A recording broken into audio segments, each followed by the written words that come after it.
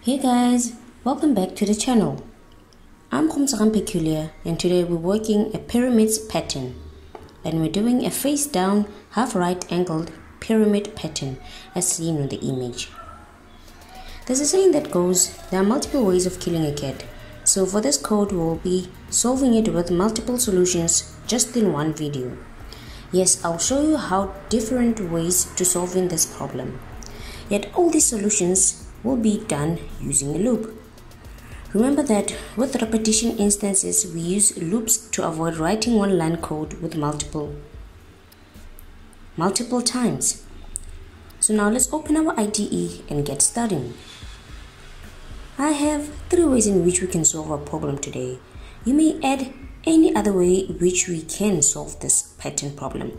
I really love getting responses from you on either the comment box or on our email address gg.ntehelang at gmail.com.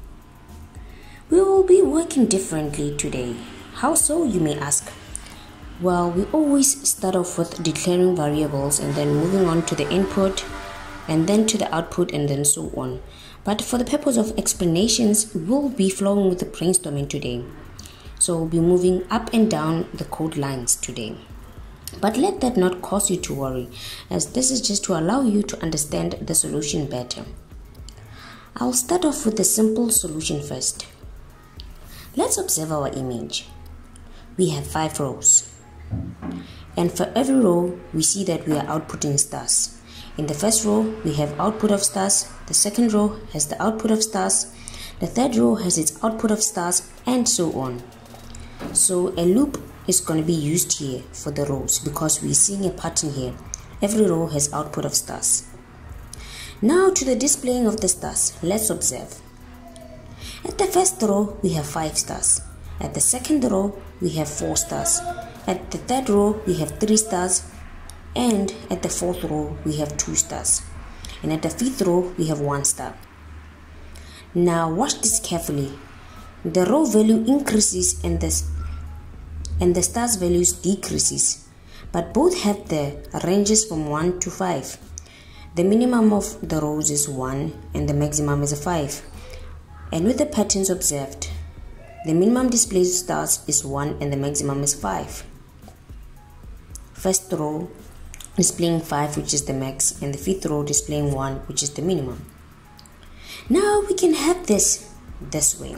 Instead of starting the rows at 1, we can have them start at 5 like this. 4 int row start at 5 then it will have row 54321 since it's 54321 so it means we'll be decreasing by ones.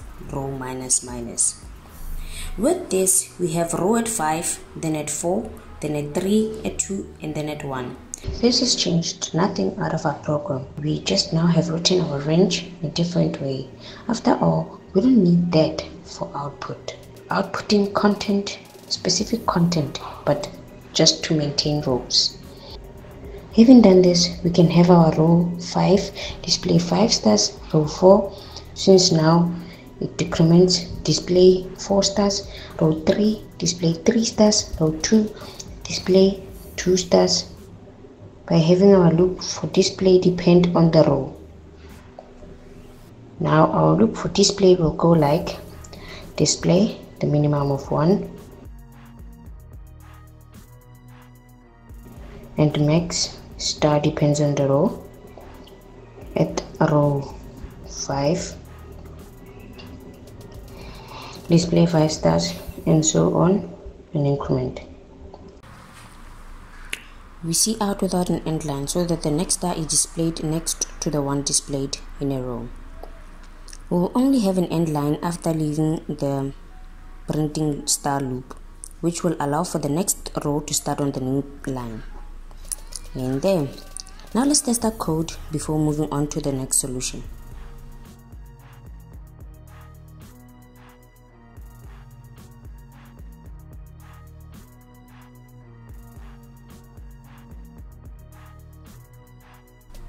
There we have our pattern. Now let's move on to our next solution where we'll be using the set width function. As I mentioned that we'll be using the set width function, so let's include the relevant header file. Let iomanip? Let's separate with a nice message and spacing here.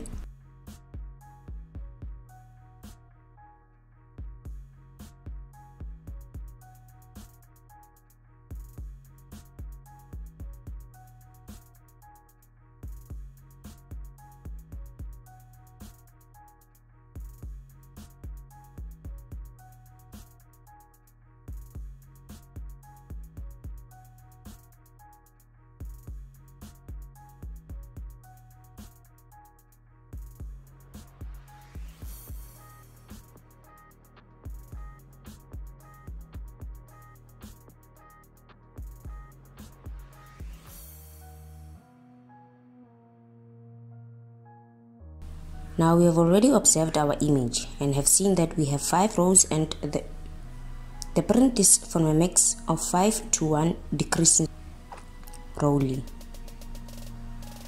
Now let's look at this image with respect of the width.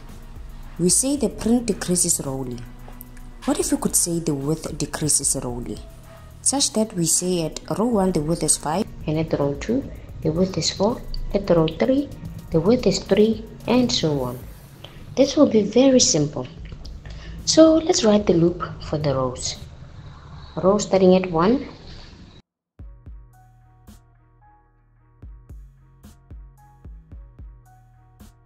And ending at 5.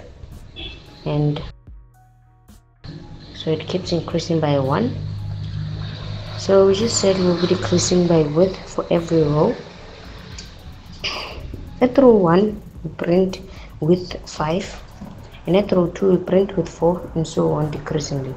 So see out set width to 5 and the width will be filled with stars. But we can't be having 5 a 5 in there. As you will have 5 stars for every row. We need a variable that will make sure that the width decreases with each row. We will call it print with a double T because print is a reserved word in C++. Now let's declare it. It's an int.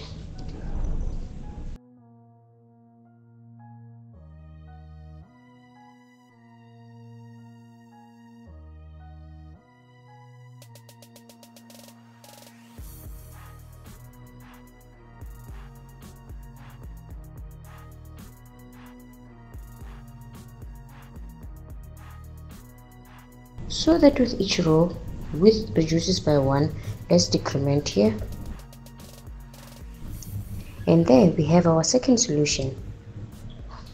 How it flows is this. At row 1 the width is a 5 so it will display that one star and the four spaces will be filled by stars. Then at row 2 width is 4 so it will display this one star and the three spaces of the width will be filled with stars and so on. Now let's run our second solution and see. Great. Successful code. Let's move on to our final solution. Let's separate with a nice message and spacing as well here. This solution is not that different from the one we just moved from. Just that here we don't use the width but they are quite similar. So we already know the logic for the row loop I'll just write it in here. 4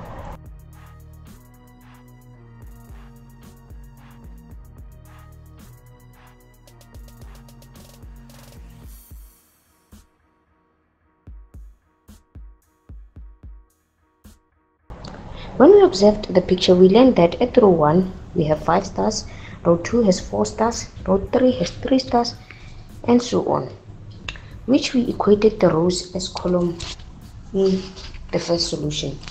But here we won't have to. Since the stars decrease from 5 with every row, we can have the initial display value outside the loop like we had for our previous solution. We have the display value decrease for each row like we had with the width. So declare the variable here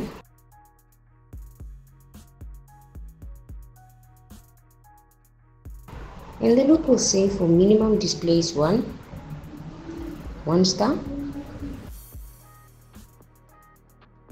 And the maximum display will be by the display variable. And add an increment and output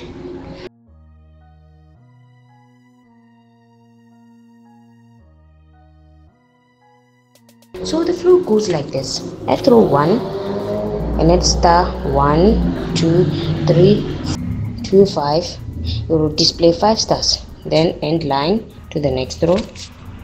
Then display as a new value which is now a 4 then I throw 2 and star is a 1 2 3 4 which is until display. Row display 4 stars. Then end line to the next row display now has a value 3 is decremented and that goes on until row 5 now let's run our code and see Great work!